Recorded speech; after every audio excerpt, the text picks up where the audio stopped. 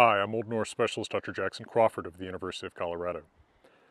On my online video channel, I talk quite a bit about Norse language and myth, my areas of academic specialty.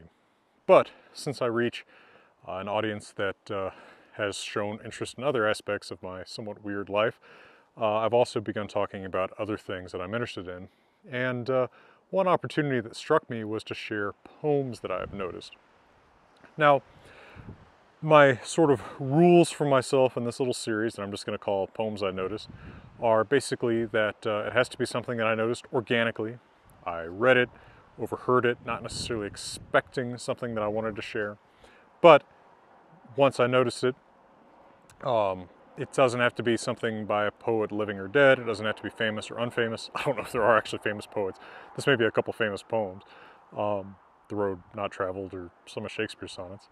Um, but just basically it's something that I organically noticed and thought was worth sharing. So here's one. Walt Whitman's When I Heard the Learned Astronomer.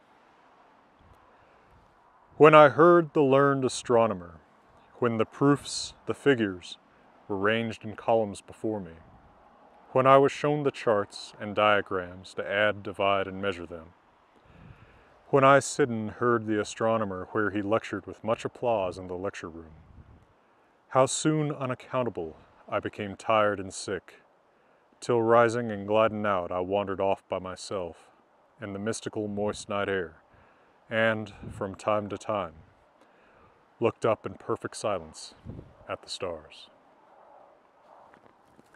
Well, I hope you agree that's worth sharing, and uh, I will come back and do more of these poem I noticed uh, videos as time and interest allow. For now, from beautiful Wyoming, let me wish you all the best.